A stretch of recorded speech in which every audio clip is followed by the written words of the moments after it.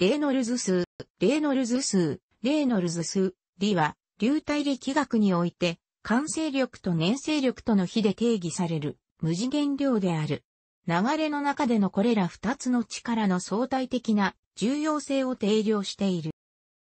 概念は1851年にジョージ・ガブリエル・ストークスにより紹介されたが、レーノルズ数はオズボーン・レーノルズの名にちなんで名付けられており、1883年にその利用法について普及させた。流体力学上の問題について次元解析を行う場合には、レーノルズ数は便利であり、異なる実験ケース間での力学的相似性を評価するのに利用される。また、レーノルズ数は、総流や乱流のように異なる流れ領域を特徴づけるためにも利用される。総流については、低いレーノルズ数において発生し、そこでは粘性力が支配的であり、滑らかで安定した流れが特徴である。乱流については、高いレーノルズ数において発生し、そこでは完成力が支配的であり、無秩序な渦や不安定な流れが特徴である。実際には、レーノルズ数の一致のみで、流れの相似性を保証するには十分ではない。流体流れは一般的には無秩序であり、形や表面の粗さの非常に小さな変化が異なる流れをもたらすことがある。しかしながら、レーノルズ数は非常に重要な指標であり、世界中で広く使われている。レーノルズ数理は、表面に向かう相対運動の中の流れを有する様々な状況として定義される。これらの定義は、一般的に密度や粘性、及び速度や特性長さ、もしくは特性寸法等の流体特性を含む。この特性長さは慣習によって決められており、例えば、半径や直径は玉や円に対して等しく有効であるが、どちらか一つが慣習的に選ばれている。航空機や船舶については、縦の長さもしくは幅が特性長さとして利用される。配管内の流れや流れの中の玉の運動については、内径が今日一般的に利用されている。長方形配管や球体以外の丸みを帯びた物体のような他の形状については定義されている等価直径を用いる。圧縮性気体や非ニュートン流体のような粘性や密度が一定ではない流体については特別な規則が適用される。速度についてもある環境、特に核紛争では慣習により定義される。このレーノルズ数の定義式を変形すると、となる。これは、完成力、分子と粘性力、分母の比と読み替えることができる。さらには、全体の運動量輸送と分子の運動量輸送の比としても考慮することができる。配管内の流れにおいて、レーノルズ数は一般的に次のように定義される。非円形ダクト内の流れを含む計算においては、水力直径は十分な精度で円形ダクトの直径に置き換えることができる。平行に置かれた2平板表面間、幅は2平板間のスペースよりはるかに大きいでの流れにおいては、特性長さは平板間距離の2倍になる。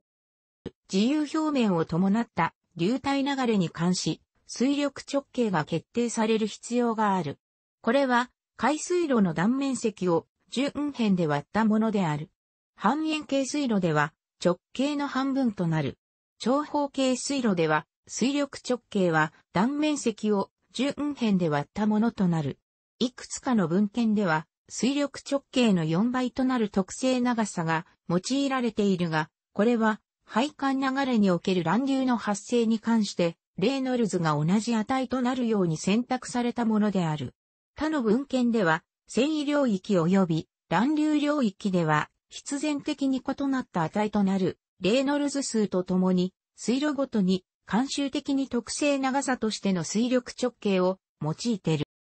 レーノルズ数は、翼型の設計において利用され、特徴を計算、比較することで、スケールエフェクトを行う。ごく小さい翼については、大きくする場合には、異なった処理がなされる。流体力学の専門家は、翼限レーノルズ数 R を次のように定義する。流れの中の障害物に関したレーノルズ数は粒子レーノルズ数と呼ばれしばしば、リと表記され、粒子周りの流れの性質の発生の有無、及び粒子の沈降速度を考慮するときに重要となる。流れの中の玉に関し、特性長さは玉の直径であり、特性速度は玉から少し離れた場所の玉の運動が流体の検査体を乱さないような場所にある流体と玉との相対速度である。密度と速度は流体の属性とする。この定義では、レーノルズ数が0.1までは純粋な総流のみが存在することに注目すべきである。レーノルズ数が低い状態では、力と速度の関係は、ストークスの式により与えられる。楕円形の物体の式は、玉の式と同様であり、物体が楕円体に禁じされるとき軸の長さが特性長さとして用いられる。ただし、粒子の軸長さの測定は非現実的なので、古い小道が特性粒子長さとして代わりに用いられる。二つの概算値を用いることで、限界レーノルズ数の値が変動する。粒子レーノルズ数は粒子の沈降速度を決定するのに重要である。粒子レーノルズ数が総流を示す場合、ストークスの式を沈降速度の計算式として使用することができる。粒子レーノルズ数が総流を示す場合、適切な沈降速度をモデル化するために、乱流効力法が構築される必要がある。高分子溶液や重合太陽有物のような粘性が、もともと高い流れは普通は、総流となる。レーノルズ数が非常に小さければ、ストークスの法則により、流体の粘性を測ることができる。玉が流体の中で沈降するとき、玉はすぐに終末速度に達し、そこから粘性が求まる。直径が D のほぼ球状の粒子からなる重点層に接触する流体流れについて、重点率がイプシロン及び空等速度がボルトであるとき、レーノルズ数は次のように定義される。総流は D イコール10まで適用され、2000以上になると完全乱流となる。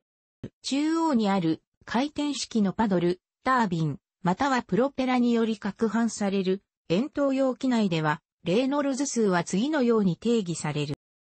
このシステムでは、レーノルズ数が1万以上となると完全乱流となる。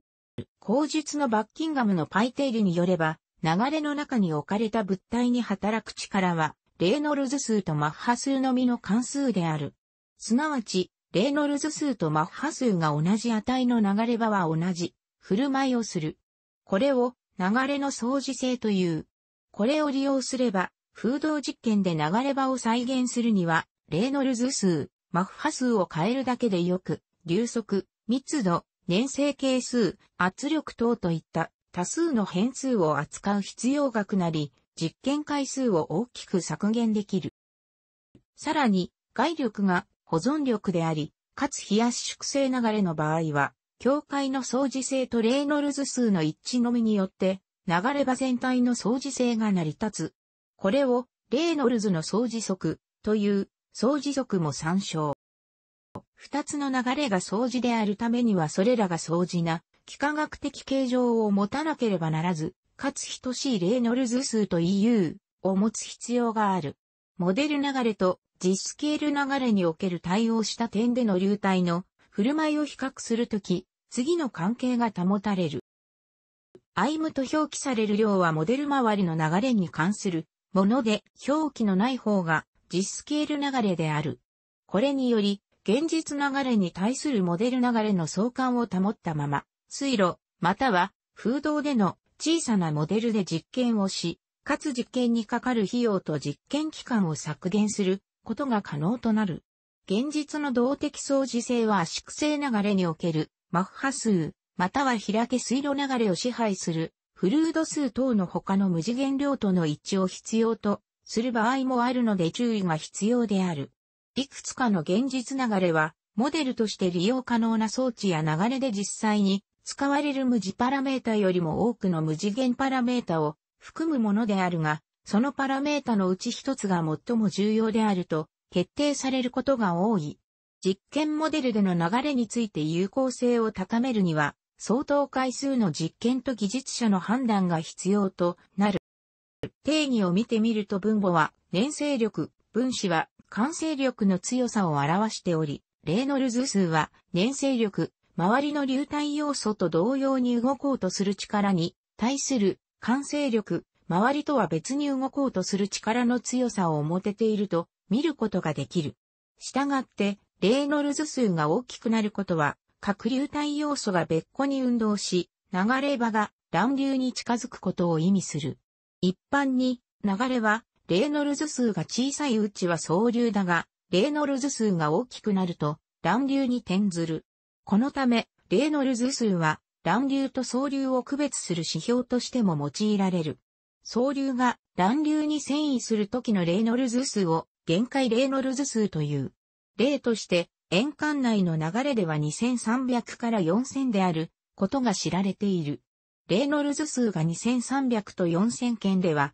総流と乱流ともに起こり得る遷移、流と呼ばれ、配管の荒さや流れの不均一性等の他の要因に影響される。この結果は、水力直径を用いた非円形水路についても発生し、繊維レーノルズ数は他の形状の水路についても計算することができる。一応流中の平板表面では、限界レーノルズ数は50万程度であることが実験から知られている。これらの繊維レーノルズ数は限界レーノルズ数と呼ばれ、1895年にオズボーン・レーノルズにより研究されている。乱流において時間変化する一塊のスケールでの流体運動が存在する。流体運動、渦とも呼ばれるの最大サイズは流れの全体のジオメートリーにより決められる。例えば、工業用煙突において、渦の最大スケールは煙突そのものの直径と同等の大きさである。最小スケールのサイズは、レーノルズ数により決められる。レーノルズ数が大きくなると、小さな渦も可視化されてくる。煙突では、煙は大きな渦に加えて、非常に小さな速度の揺れ、または渦を持っているように見えるかもしれない。これらの意味で、レーノルズ数は流れスケールの規模についての指標であると言える。レーノルズ数が大きいと、スケールの範囲も大きくなる。最大の渦はいつも同じサイズとなり、最小の渦はレーノルズ数により決定される。この現象についての説明はどうなるか。大きなレーノルズ数は、粘性力が流れの大きな規模では重要でないことを示す。粘性力に対する完成力が非常に優位に働くと、流体運動の最大スケールは小さくならない。それはそれらの運動を放散するだけの十分な粘性がないということである。スケールが十分に小さく粘性が重要である。つまりは、粘性力が完成力のオーダーになるレベルまでは、運動エネルギーがカスケード的に大きなスケールから次第に小さなスケールへと低下しなければならない。それは粘性作用によるエネルギーの消失が最終的に行われるのはこれら小さなスケールにおいてということである。それゆえ、最大渦は流れのジオメトリーにより決定され最小渦は粘性により決まられるので、レーノルズ数は乱流運動最大スケールと最小スケールの比として理解することができる。十分に発達した流体流れに見られる圧力低下はムーディー線図を用いて予測可能であり、この線図ではレーノルズ数リと相対ソドイプシロン D に対して摩擦損失係数 F をプロットしている。この線図においては、総流領域、繊維領域、及び乱流領域がレーノルズ数の増加とともにはっきりと示されている。配管流れの性質は、流れが総流か乱流化により強く依存する。関網解析では、圧力損失を求めるために、摩擦損失係数が必要であり、摩擦損失数を求めるため、レーノルズ数が使われる場合があるので非常に重要な無次元数である。人体における血液循環についてのボアズイユの法則は総流に依存する。レーノルズ数の定義を用いると、流れ早く、直径大きく、そして血液の密度が高いと乱流となりやすいことがわかる。血管の直径の急激な変化は乱流につながりやすく、例えば狭いところが広くなるときがそうである。さらに、過長乱流が聴診器で検出されるところでは、乱流の原因の可能性として、アテロームの膨らみが挙げられる。レーノルズ数は、詳細な数字でなく、10の何乗という桁数、オーダーに注目することも多い。例えば、空気中を飛行する飛行機の主翼でのレーノルズ数は10から10程度である。また、模型飛行機などのレーノルズ数は10以下で、低レーノルズ数領域と言われている。高分子溶液の総流は魚やイルカにより利用され、それらが皮膚から高分子溶液を滲み出し、泳ぎの間、体の上の流れを助ける役割をしている。これは、ヨットレースにおいて利用され、ヨットオーナーはスピードを上げるために低分子量のポリエチレングリコールのような高分子溶液を船体の節水面にポンプ注入することがある。レーノルズ数はバッキンガムのパイ定理に基づく次元解析から導かれたものであり、同様のものにマッハ数がある。バッキンガムのパイ定理とは、物理現象を表すパラメータが N 個、そこに現れる単位、次元がメートル種類の時、N、メートル個の無次元量、パイ、パイと関係式、F が存在してと書ける。という定理である。圧縮性の流体の運動を考えると、現象を表すパラメータは、密度ロー、粘性ミュー、音速、A、圧力、P、平均速度ボルト及び特性長さ D の6つであり、単位は、キログラム、M、S の3種類である。したがって、パイ定理より、6から3イコール3つの無次元量が存在することがわかる。これらのパラメータを組み合わせて作られる無次元量には、通常レーノルズ数理、マッハ数マ及び圧力を無次元化した圧力係数、負債、劣り、関係式には劣ることが多い。さらに冷やし縮性と仮定した場合は、音速 A のためマッハ数マを考える必要がない。したがって、関係式はとなる。レーノルズ数は、ナビエ、ストークス方程式、冷やし縮性で外力なしを無次元型に変形することで、方程式を支配する唯一のパラメータとして得ることができる。常識中の各項は、体積力、単位体積あたりの力、ニュートンマイメートル、もしくは同等な表現として、加速度と密度の積の単位を持っている。物理的サイズに直接的によらない形の式を得るため、方程式を無次元化する。無次元式を得る一つの方法として、次の係数を式全体にかける方法がある。ここで次のように、各物理量を無次元化する。すると、ナビエ、ストークス方程式を次の無次元化された方程式に書き直すことができる。この式にはパラメータが右辺第2項にしか現れていない。このパラメータを次のように書き換え、レーノルズ数と定義する。最終的に式を読みやすくするために、プライム記号を省略して書き直すと次のようになる。この式は、パラメータとして、レーノルズ数理しか持たない。したがって、同じ例のルズ数を持ち、かつ、境界条件も相似形である流れは、数学的にすべて同等である。上記の式で、理の時、年成功が消える。したがって、恒例のルズ数流れは、およそ非年生の自由流れと同じとなる。楽しくご覧になりましたら、購読と良いです。クリックしてください。